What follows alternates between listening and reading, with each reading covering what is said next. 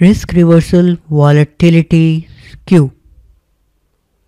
Now risk reversal is a measure of volatility skew and is also known as conversion. The higher the demand for an option, the greater its price and hence a high implied volatility.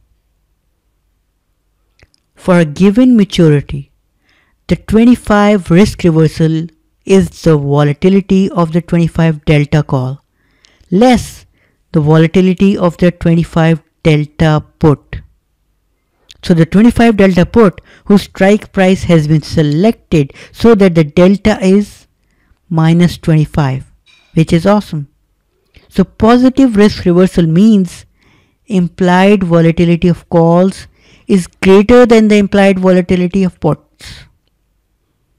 Therefore, it means positivity skewed distribution of spot returns.